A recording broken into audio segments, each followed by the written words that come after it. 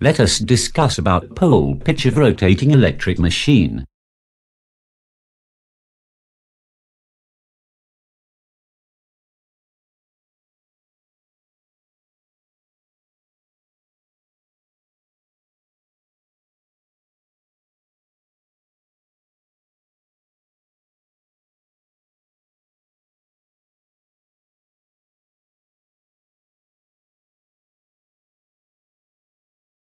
Pole pitch is the angular distance between two identical points on two consecutive poles in a rotating electrical machine.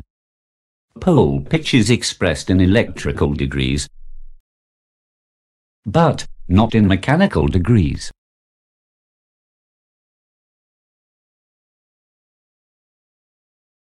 One pole pitch is equal to 180 degree electrical. If there are p number of poles in a machine, then the pole pitch in mechanical degrees can be expressed as 360 by p.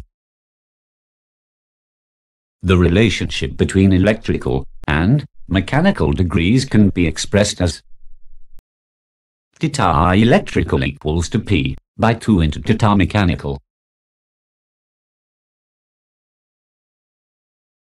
This equation can be proved very easily. In any electrical machine, each pole constitutes 180 degree electrical, so for a p-pole machine, the total electrical angle can be expressed as theta electrical equals to p into 180 degree. The total mechanical angle can be expressed as theta mechanical equals to 360 degree. Therefore, theta electrical by theta mechanical equals to P into 180 degree by 360 degree. That equals to P by 2. Hence, theta electrical equals to P by 2 into theta mechanical.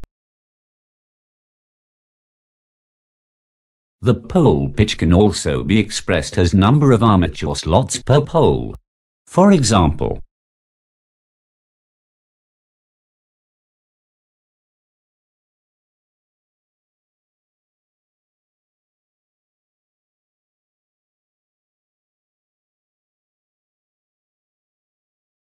There are 8 poles, and 32 slots, in the armature, and then the number of slots per pole is 32 by 8 equals to 4. Hence, the pole pitch of that machine is 4. Hope you got the idea. Thank you.